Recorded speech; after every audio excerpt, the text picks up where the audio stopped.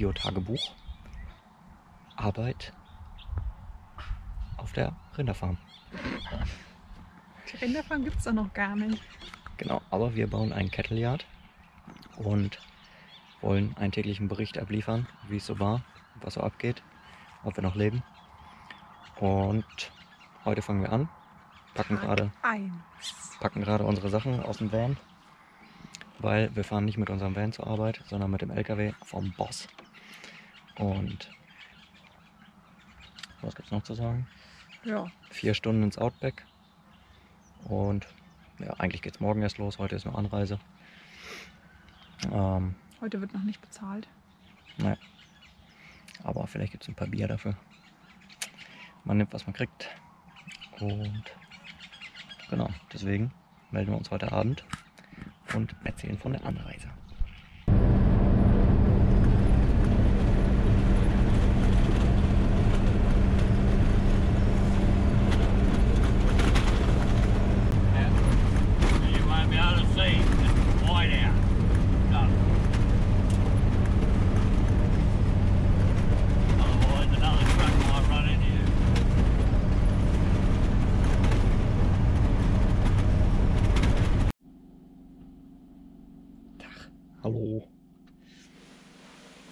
Wie ihr gesehen habt, sind wir weit ins Outback gefahren. Oder, naja, manche Leute würden noch nicht Outback sagen, aber in the bush sind wir auf jeden Fall. Hier ist auf jeden Fall einfach nichts. Und Die Ja. Fahrt war auf jeden Fall schon mal ein Erlebnis, weil der Typ einfach, ja, der ist halt ein Fall für sich, sage ich mal, also unser Boss. Und ähm, ja, die, der Fahrstil ist eigentlich, ja, es geht so durchgehend 105 km/h auf der Dirt Road, auf der Dirt Road. also wenn also wo Hubbel, nur Schutt und Asche liegt. also wenn Hubbel kommen, ist halt mal kurz Rambazamba da im, im Truck. Fliegt das halbe Armaturenbrett auseinander. Ja, und dann war noch eine witzige Szene. Also wir saßen halt vorne, also das ist halt ein Dreisitzer vorne in der ersten Reihe und dann ähm, saß er halt am Steuer, dann kam ich und nee, und kam, also Felix saß in der Mitte und ich saß außen. Und dann äh, wollte er halt noch in, zu irgendeinem Pub fahren und ähm, dann hat er einen Kilometer vor dem Pub angehalten und gesagt, wir müssen jetzt entweder die Plätze tauschen oder einer muss sich nach hinten setzen, weil das, so kann man sich ja nicht blicken lassen, wenn der Kerl in der Mitte sitzt. Das geht nicht. Also ich durfte nicht auf dem Sitz direkt neben ihm sitzen, weil er meinte auch, als nachdem wir losgefahren sind, kurz nachdem wir losgefahren sind, meinte er, ich wäre der erste Kerl, der überhaupt auf diesem Sitz neben ihm sitzt, quasi, weil ja, that's a gay thing, sagt er so, ne? Ja, also so, so konnten wir uns natürlich nicht da beim Pub blicken lassen. Da sagt er, da müsste aber einiges erklären, warum, was da passiert ist, dass ich direkt neben ihm sitze. So richtig dumm, ist so völlig ohne Sinn. Also hätte ich in der Mitte gesessen, dann wäre alles okay gewesen. Also der Sitz war jetzt nicht kleiner als der andere oder so. Also das, Und da war auch noch die ganze Schaltkonsole und Handbremse und so zwischen uns. ja, also Also völlig war- ohne Sinn einfach. Ja, Mussten wir war- uns da umsetzen. War ja halt so richtig Busch, äh, Macho. Ja, Ja, ich fand's lustig. Jenny fand's ich verrückt. fand's unnötig. Ja. Auf jeden Fall ähm, sind wir dann hier angekommen und ja, hier ist halt eigentlich nichts. Ja, jetzt liegen wir hier im Wohnwagen. Ja, wir haben jetzt hier unseren Caravan. Der sah auf jeden Fall scheußlich aus, als wir hier ankamen. Von innen, Von innen, ja. außen immer noch. Ja, von innen haben wir den jetzt halt so ein bisschen sauber gemacht, bisschen Staub gewischt zumindest, mal durchgekehrt. Ja, und jetzt kann man es ja einigermaßen aushalten. Aber naja, mal gucken, wie lange. Morgen gucken wir mal, was es zum Frühstück gibt, ne? Meatpicks. Wheatbix, ja. Er frühstückt nämlich nicht und eben hat er auch kein Abend gegessen. Er sagt lieber ein paar Bier. Er frühstückt, doch, er frühstückt 2000 Kaffee und sechs Zigaretten, hat er gesagt. Sechs Zigaretten. Ja, Ja, das ist sein Frühstück. mal gucken. Hoffentlich, also um 7 Uhr treffen wir uns zum Frühstücken. Hoffentlich braucht er lange für seine sechs Zigaretten, weil dann können wir noch chillen so lange. Ja. Das war's eigentlich, das waren die Highlights, ne? Ist noch mehr passiert, aber Ja, das ist schon wieder in Vergessenheit geraten. das ist schon wieder unwichtig im Gegensatz zu den anderen Sachen. Ach ja, wir mussten eben noch Wasser holen. Und da sind wir dann mit dem ähm, ja. Truck nochmal rausgefahren. Und er hat halt so einen Anhänger, wo ein 1000 Liter, ähm, Tankwasser. ja, so ein großer Tank drauf ist. Und dann sind wir hier zwei äh, Wiesen weitergefahren sozusagen. Und dann war da so ein Tümpel. Und da hing, stand eine Pumpe daneben und der Rüssel hing da in dem See drinne. Das war so ein richtig ekelhafter See. So richtig, wo Richtig du denkst, boah, so. gleich kommt da das Krokodil aus dem Wasser raus. ja, Und, boah, und die Kuh stand da noch drin und hat da reingeschissen und so. Ne? Also da Ja. sind ja überall, sind überall Rinder. richtig viel, richtig viel Gemüse, ne, so Wasserpflanzen da drinnen am rumschwimmen. Und dann sagt er, ja, spring mal rein und hol mal den Rüssel da raus, ne, weil der liegt im, im Schlamm drinne. Sonst können wir hier kein Wasser holen. Ja. Und dann so, und irgendwie hat er dann noch irgendwie was an, irgendeine andere Aufgabe erklärt. Und dann stand ich so daneben, ja, was jetzt, was soll ich jetzt machen? Und, Hier, geh da rein. Zack, rein da. Letztes Mal hat das ein Mädchen gemacht. Ja, und dann habe ich meine Flipflops da am, am Beckenrand stehen lassen. und bin da erstmal schön durch den Matsche-Gülle-Scheiß da Ich habe leider kein. Video. Das war ein Bild für die Götter. So, weiß ich nicht, wie viele Meter waren das? Nicht so weit, 20 Meter vielleicht. Da reinmarschiert. Ja, und dann musste ich den Rüssel so lange an der Oberfläche halten, bis er den Tank da voll geschnorchelt hatte. Und dann durfte ich wieder rauswatscheln. Ja, stand mir die Scheiße bis in die Kniekehlen.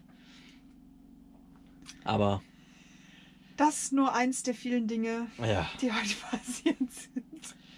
ein kleiner Klamauk aus unserem Alltag.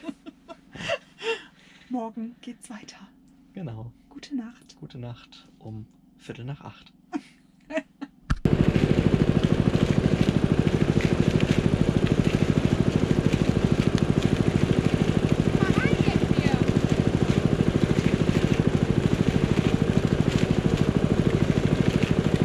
Danach keinen mehr.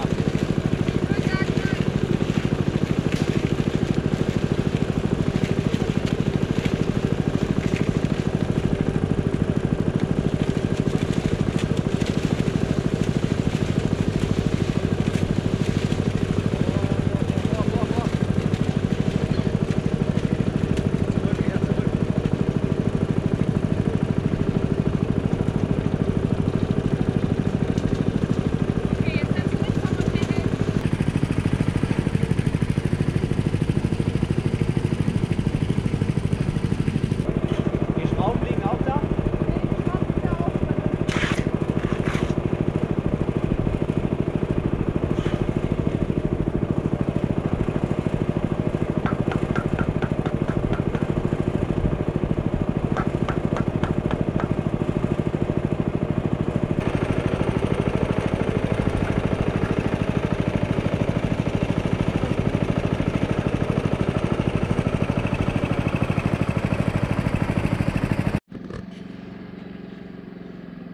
Guten Abend.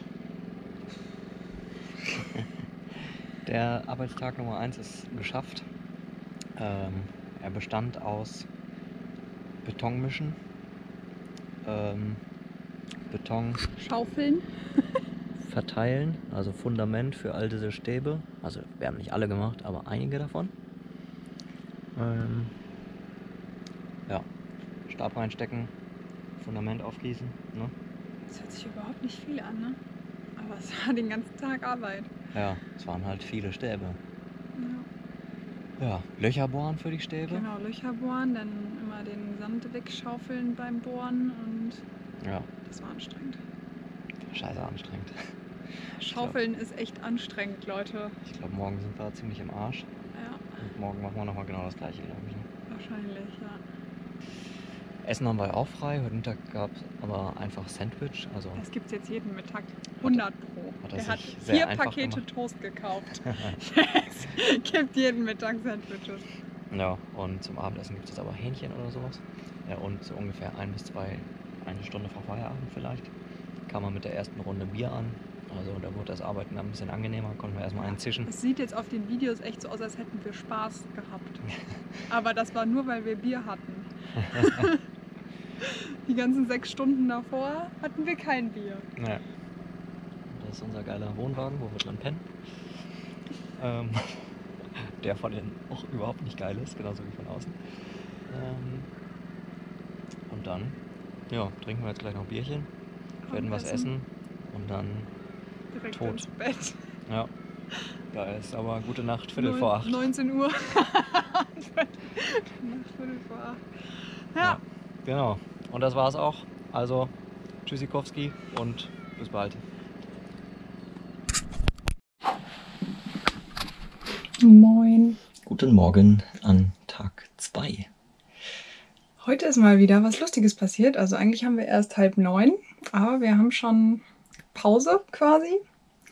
Weil heute Morgen hat äh, der Chef uns ein bisschen angekackt, weil wir gestern Abend anscheinend nicht sauber genug gearbeitet haben. Und äh, danach, Karma is a Bitch, ist er mit seinem eigenen LKW in seinen zweiten LKW reingefahren. Also die Klappe war offen. Sieht nicht gut aus und er ist gar nicht gut drauf. Und, Nee. ja, und er hat uns jetzt den Morgen freigegeben. Ja, und will jetzt irgendwie versuchen, seinen LKW, mit dem wir hergekommen sind, zu reparieren. Nicht so laut. Der kann auch Deutsch. Ja, und? Ich sag doch gar nichts Schlimmes. Das war so lustig. Sieht übel aus. Wir versuchen mal noch Bilder zu machen. Naja, jetzt erstmal den Morgen frei. Willkommen. Ähm, wir sind hier ja mitten im Nirgendwo und trotzdem müssen wir unsere Sachen waschen. Und ihr dürft euch gerne mal das Wasser hier angucken, mit dem wir tagtäglich duschen. Also ich glaube, ich hoffe, man sieht es gut. Es ist nicht mehr ganz so durchsichtig, wie es sein sollte. Ähm, ja, damit waschen wir jetzt unsere Sachen. Ich hoffe, das funktioniert. Ich habe da mal was vorbereitet. Einfach rein. Ja, ins Tümpelwasser rein. Alles so. Bist du sicher, ja? Alles, was du waschen willst. Und wie kriegen wir das wieder raus? Mit der Hand. Ah, Mann, da drin duschst du.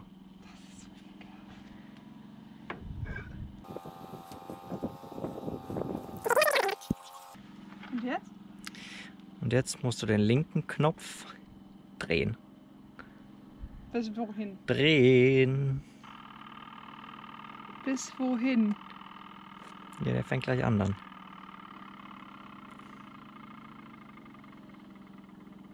Hat er gesagt. Womit? Zumindest geht die Wäsche schon mal unter jetzt. Hm. Na nö. Ist das auch angeschlossen?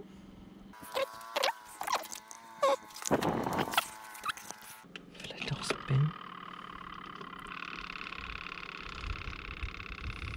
Das hört sich nicht gut an.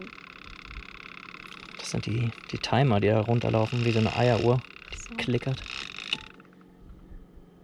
Hm. Tja, Ah, hier, Power. jetzt sollten wir vielleicht auch drauf.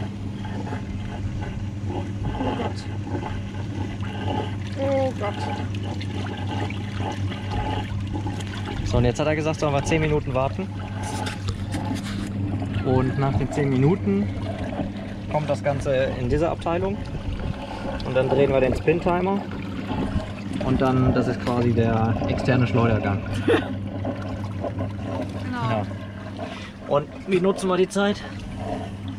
Bierchen. Hey. Prost. Prost.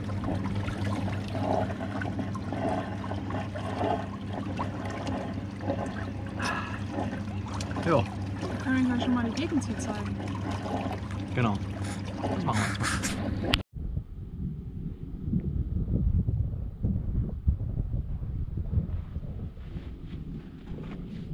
wir. Ups.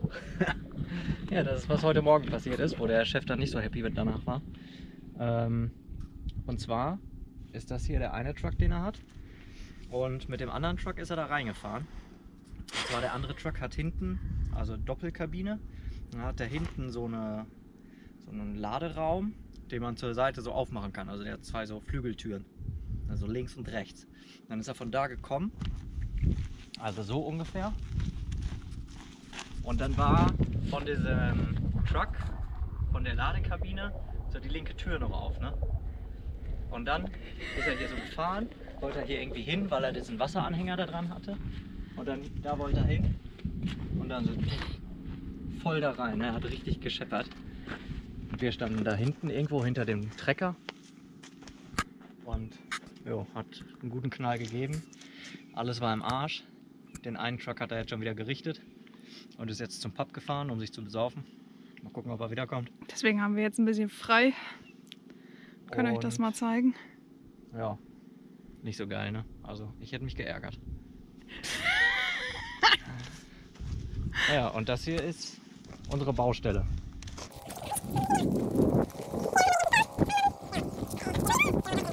Wir gehen mal zu dem Trecker und fangen quasi bei Null an. Also der Trecker macht das Loch. Genau, der Trecker hat quasi einen Anhänger mit einem riesen Bohrer. Und mit diesem Bohrer bohren wir das Loch und wir stehen so daneben mit der Schaufel. Alles so weg, weg, weg. Wie Und man hier sieht. Weg, weg, weg. Genau. Und dann raus. Und dann machen wir erstmal ganz viele Löcher. Also alle Stangen, die man hier sieht, das sind nachher Löcher. So wie da halt die Stangen in der Reihe sind. Und ja, in diese Löcher, jetzt können wir wieder da hinten hingehen. Und da kommt dann diese Stange rein, glaube ich. Ne? Ich war noch nie dabei, ich habe gemischt. Erst kommt das Beton rein. Erst Beton rein und dann Der die Stange Beton. reinstopfen. Genau. Ja, so. Ja, ich, ja, ja, ja, doch. Also Das ist ja dann noch flüssig. Und dann, Erst mit Beton auffüllen und dann kommt die Stange und dann bis zum Grund. Und dann ja, aushärten lassen. Emus haben wir heute gesehen. ja. Wildlebende Emus, freilebende. Das sind so große Vögel für die Dummköpfe unter euch. Genau. Sieht ein bisschen aus wie ein Strauß. Große Vogel, aber nicht Fliegt nicht geht. wie so Pinguin. Fauler Vogel. Ja, das hier ist das Kackklo. Sehr unspektakulär, stinkt wie die Hölle. Ist einfach nur ein Loch, wo sie eine Schüssel draufgestellt haben. Ein Eimer mit Klopapier. Und dann lässt du die Tür auf und dann ist eine schöne Aussicht beim Kacken. Ja. So ist das. Tag 3 ist vorüber. Ich fand es unspektakulär. Ja. Felix ist fertig, der hatte den anstrengendsten Job heute. Ich musste wieder den ganzen Tag Beton mischen. Und schaufeln. Jenny durfte mit einem Aufsitzrasenmäher quasi. die Ohne Schuck- Rasenmäher. Ja, mit, mit Schubkarre statt Rasenmäher. Ja, die Scheiße, die ich zusammengerührt habe, zum Loch fahren. Und der Chef hat dann die Schubkarre gekippt, sodass alles ins Loch läuft. Also Felix hat eigentlich die ganze Arbeit gemacht. Ja, es ist halt ein bisschen unfair die Aufgabenverteilung, aber ich kann es leider nicht ändern, weil ich mache ja nicht die Regeln. Aber du könntest den Zement machen. Nee. Kein Bock drauf. Ja, gut, auf jeden Fall. Keine Ahnung, der Typ geht jetzt immer mehr auf den Zeiger. Aber der nächste Job wird wieder besser. Ja. Und jetzt ziehen wir die Woche noch durch. Heute ist Montag. Bis Freitag vielleicht noch arbeiten und vielleicht dann Samstag zurückfahren. Müssen wir mal mit dem abchecken, ob das so funktioniert. Ja, ich Also habe ganz schreckliche Halsschmerzen heute. Ja. Ich glaube, ich habe zu viel Zementpulver eingeatmet beim Mischen. Ja, das ist bestimmt ganz gefährlich. Ja. Eine Zementlunge. Ja, dann sagen wir mal lieber schnell gute Nacht um wie viel Uhr ist? Gute Nacht. Um Viertel vor acht. Supi!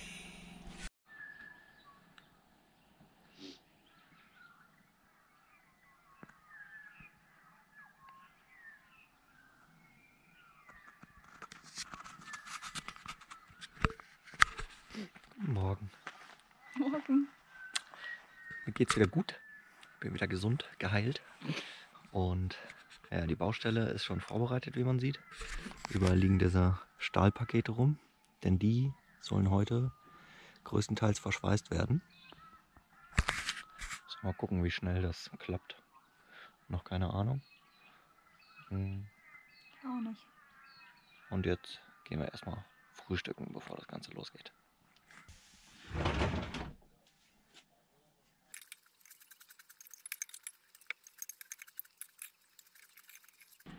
Willkommen in. Der Hölle. Was ist denn hier? Ah, Geht schon. Willkommen in Der äh, Hölle. Tag. Tag wie viel? Vier. Betonmischen ist vorüber und jetzt werden zwischen diese ganzen Streben ähm, ja, Querverbindungen reingeschweißt.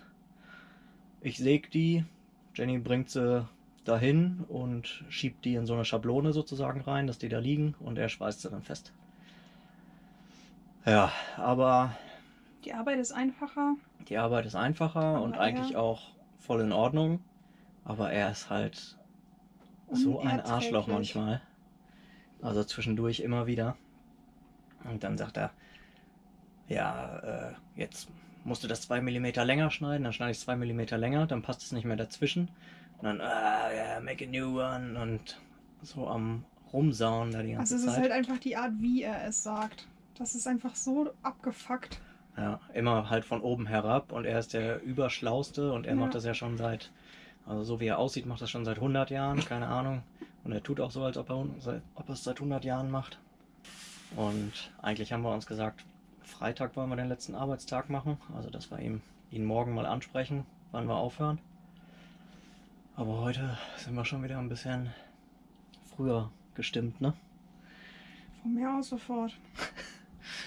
Naja, mal gucken. Also jetzt werden wir heute Nachmittag nochmal hier mitziehen und gucken, wie viele Dinger er sich noch leistet und vielleicht machen wir dann, also wenn es scheiße, wenn es nochmal richtig scheiße ist, dann ziehen wir, denke ich mal, zum Feierabend einen Schlussstrich, ne? Na, und dann sagen wir, tschüss, kannst deine Scheiße alleine machen. Ja. Kann ich mich noch eincremen? Guten Abend. Jetzt wird sie noch eingecremt. Aber wir können ja schon mal anfangen. Ja, erzähl du schon mal. Wie man sieht, sind wir noch hier. Und der Nachmittag verlief eigentlich relativ nett mit einer entspannten Arbeitsatmosphäre. Überraschenderweise gab es eine Wendung. Ähm, ja, und während dieser Arbeitsphase kam mir dann die Idee, dass man die ganze Sache ja auch diplomatisch lösen könnte. Und so haben wir uns dann überlegt, wie wir ihm das am besten beibringen. Das war das Kacke fanden, wie das so ab und zu lief hier während der Arbeit. Nach der Arbeit haben wir uns dann zum Bierchen hingesetzt. Wie Und, genau, und dann haben wir halt so versucht, das so ein bisschen anzuschneiden, das Thema. Letztendlich ist dann doch was draus geworden. Naja, er hat halt einfach gesagt, also er hat sich nicht entschuldigt oder so, weil er meinte halt, ja, er ist so wie er ist und normalerweise ist er noch viel übler quasi. Also er schreit eigentlich immer nur rum und Genau, er könnte noch viel grantiger sein und ähm, keine Ahnung, meinte dann halt, er versucht uns halt nur so ein bisschen was erklärend beizubringen oder will, dass wir selber drüber nachdenken oder so. Halt wieder so ein bisschen Papi-Getue. Naja, auf jeden Fall hat das irgendwie dann doch, ja, geschafft, den dass Haufen, wir den Haufen Scheiß, äh, der doch Haufen Scheiß in eine Schleife umgebunden, ne, könnte man sagen. Also irgendwie ganz nett verpackt. Und ja, für uns war es dann auch okay. Und also, man darf einfach alles nicht so persönlich nehmen, wenn er mal rumbögt oder keine Ahnung was hat. Ja, also er meinte halt auch heute, dass wir einen guten Job machen und so. Also es wirkt halt einfach nie so bei ihm. Ja, Weil, also ich habe immer gedacht, so ja, der denkt, wir sind voll die Idioten, weil er halt einfach immer nur sagt, wie kacke alles ist. ja. Kein Lob, nur Kritik. Ja. Ja, aber so haben wir uns dazu entschlossen. Morgen geben wir der ganzen Sache mal wieder eine Chance. Und wenn es jetzt morgen aber ultra kacke wieder sein sollte oder so, dann werden wir wohl Adios, Amigos sagen. Hallo und willkommen zurück im Busch. Es ist Tag 5 bis 6. Es ist Mittwoch. ähm, und ja, wir haben uns richtig entschieden gestern, einfach mal das Problem offen anzusprechen. Und ähm, heute äh, ernten wir sozusagen die Früchte, denn er ist sehr nett zu uns schon den ganzen Morgen gewesen. Hilfsbereit, hat ein offenes Ohr und ähm, ja, da hinten kommt er auch gerade. Müssen wir jetzt wieder auflegen. Ja, hat ein offenes Ohr, hilft uns. Ja, kennen wir alle schon. Ja, und das ist unsere Arbeit hier, diese ganzen Querverstrebungen. Ich äh, säge sie zurecht hier an der Tischkreissäge. Und ähm, Jenny bringt sie zu ihm und er speist sie fest. Also, wir melden uns wieder, wenn es was Neues gibt. Achso, heute Abend macht er irgendeinen Braten, hat er gesagt. Machen wir erstmal den Grill fit. Und dann gibt es hoffentlich was Leckeres. Ordentlich Bier ist auch schon im Kühlschrank. Also ein schöner, äh, wie sagt man, äh, Brücken, nee, Mittwoch, Bergfest. Bergfest? Bergfest. Prösterchen. Heute gibt's sitzen- mal was Richtiges zu essen. So ohne nur Fleisch, sondern mit Beilage auch. Gestern gab es nämlich Würstchen mit Beilage Steak. das war ein bisschen, naja, ach Und so, dann kam noch die große Überraschung. Auf einmal holt er so von hinten die Dose. Tada! Baked Beans. Nur halt ungebacken, sondern nur aus der. Dose. Ja. ja. Und heute gibt es wohl Kartoffeln mit Erbsen, haben wir schon gesehen. Und einen Krustenbraten hat er eigentlich da, nur wissen wir noch nicht, ob er das mit der Kruste hinkriegt. Also weiß er selbst auch noch nicht. Er sagt, eigentlich sollte da nachher eine Kruste drauf sein, aber vielleicht wird es auch noch eine Specksparte da. Ähm, ja, ansonsten, der Nachmittag war wieder angenehm zu arbeiten eigentlich, ne? ja, doch. Ging ganz gut rum, auch gar nicht so lange. Ja, Wir haben ja auch alleine gearbeitet in die letzten zwei Stunden. Ne? Hm, Eine Stunde vielleicht. Ja. Ja, aber easy going. Also Dafür hat er mal gespült. Ja, das wird auch mal Zeit, weil ich glaube, selbst die Wegwerfteller sind inzwischen leer. Mm, naja, Dann gehen wir mal essen, ne? das Licht wird auch nicht heller hier. Deswegen tschüss und bis morgen. Wir berichten, wie es weitergeht. Tschüss. Hallo! Hallo, es ist Donnerstag, Tag 6. der 1. August. Ähm, Tag 6 Mhm. von Anwesenheit oder Arbeit oder Keine Ahnung. irgendein Tag 6 auf jeden Fall. Und ja, nach wie vor können wir empfehlen, solltet ihr ein Problem mit eurem Vorgesetzten haben, sprecht mit ihm und kündigt nicht sofort. Das hat sich auf jeden Fall bewährt. Äh, er ist nach wie vor eigentlich jetzt super nett bei der Arbeit, ne? Ja. Und hilfsbereit und gibt Tipps und ja, es ist vielleicht, kommt sogar manchmal so ein Lerneffekt auf, ne? Ja. wenn er einem dann was erklären will und nicht so von oben herab, äh, musst du so machen, musst du so machen, sondern ah, du musst das so, machst lieber jetzt so, weil dann das und das. Also, ja, enorme Verbesserung. Ja, und wir haben gestern Abend geilen Krustenbraten bekommen. Es ist wirklich eine gute Kruste geworden. Ja, Und heute Morgen hat er sogar Brötchen selber gemacht und gebacken für uns. Also wir hatten die letzten Tage immer nur irgendein ekliges Müsli zum Frühstück. ja. Heute Morgen Brötchen. Der Teig war noch nicht ganz durch, okay, aber, aber man konnte es essen. Ja. Ähm, ja, läuft bei uns. Ja, hoffentlich können wir trotzdem Samstag nach Hause. Ja. Also der Krusten, Hause. Der Krustenbraten hat mir auf jeden Fall Lust auf mehr gemacht. Schon mal kurze Nachricht an Papa. Wenn wir wieder da sind, hätte ich mal gerne einen Krustenbraten. Hatte ich nämlich schon seit Jahren nicht mehr, habe ich zu ihm gesagt. Und das stimmt auch, glaube ich. Also das wird auf jeden Fall mal wieder Zeit dann nächstes Jahr. Ähm, ja, ansonsten kommen wir gut voran in der Arbeit. Hoffentlich werden wir dann morgen Abend, Nachmittag fertig, sodass wir dann Samstag zurückfahren können. Ne? Jo. Genau, und jetzt haben wir erst noch Mittagspause und noch ein bisschen schlafen. Mm, Nein. Aber um halb zwei geht's weiter. Tschüss. Es ist jetzt Abend. Wir haben schon Abend gegessen und uns wurde mitgeteilt, dass heute quasi der letzte vollständige Tag hier ist. Morgen Abreise, mittags, Vormittag noch arbeiten, mittags Abreise. Das heißt, Nachmittag sind wir wieder an unserem Bulli und fahren nach Early Beach. Ja! Wir müssen nicht mehr hier in der staubigen Wüste Ohne Internet, ohne Äh, alles. Zement schippen und Stahl schneiden Und an den Baum pissen. durch die Gegend tragen und in ein Loch kacken. Wir könnten den ganzen Tag so weitermachen. genau, es ist überwunden und wir haben Geld verdient. Also wir kriegen es halt erst nur in ein paar Wochen. Aber wir kriegen es hoffentlich. Um Das die einige. Erfahrungen reicher. Ja, wir haben viel gelernt. Ja. Vor allem, wie man mit seinem Vorgesetzten umgehen sollte, wenn man Probleme hat. Nicht einfach kündigen, Das haben sondern wir schon, Schatz. Nehmt es euch zu Herzen. So, dann ist das Videotagebuch auch vorbei damit. Ne, morgen machen wir noch eins. Morgen machen wir noch eins. Der Vollständigkeit halber, ob wir auch quasi wieder irgendwo angekommen sind. Wir müssen nur noch die Autofahrt überleben. Genau, es sind nochmal vier Stunden Fahrt wieder aus der Wüste hier an die Küste nach Gumlu zwischen R und Bowen, wer uns nochmal verfolgen will. Gute Ja, Nacht. ähm, genau, bis morgen. Tschüss.